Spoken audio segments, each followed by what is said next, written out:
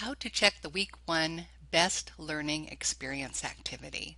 I know I covered this in another video, but now that a student has posted to that week one best learning experience uh, activity, I wanted to show you what it's like. So I see this little black cloud in, in the cell of one of my students. I click on the cloud in the corner and I click on more details in SpeedGrader, which opens another tab of the speed grader. There's the grade book and here's the speed grader. Notice I can see what this student said. So it's right there before my very eyes that I can read.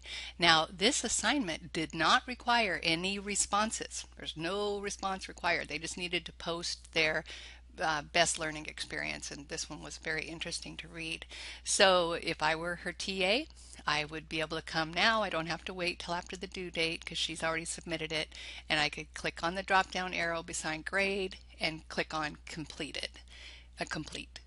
She's finished it. And then if I wanted to put in a comment, excuse me, I'll get off of that. If I wanted to put in a comment, I could click here and type or leave a, leave a media comment and then submit the comment if you don't submit the comment, if you don't make a comment, you don't have to worry about that submit comment area. As soon as you click complete, the system saves itself and the grade um, is activated. Now I'm going to go ahead and close this tab and go back into the grades area. I'll close this. And again, this hasn't refreshed. I'll, I'll click F5 on my keyboard. Not that I changed anything. Oh, I did change it. oh, good. Well, I did change her grade. Sorry, whoever has this student. So this one does have the check mark. That one is completed.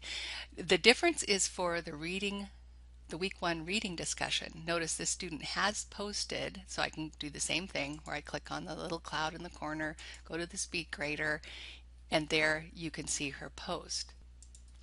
Now with this assignment, the initial post is due Thursday, but then they need to engage in discussion through the Friday, I believe it is. I mean, not through Friday, through Sunday. So you don't need to really grade uh, the, the week one discussion until after Sunday. Sometimes I like to, so I don't get behind, I do like to go in and read their initial post. Otherwise, it can get to be feeling overwhelming. Um, so I just like to touch bases that way and also in the regular discussion which I could reach just by clicking this week one reading discussion link from the grades area it will take me into this group's discussion where I can see her post and there I could choose to reply to her post so that way she's not feeling like she's hung out there. Not that you have to reply to every person's post. You don't. You, you do not have to. But that's one way that you can do it. So I would wait to put any grades in the week one reading discussion until after the final due date, which is Sunday. Again, this one has a rubric where you'll be seeing if all members in the group participated.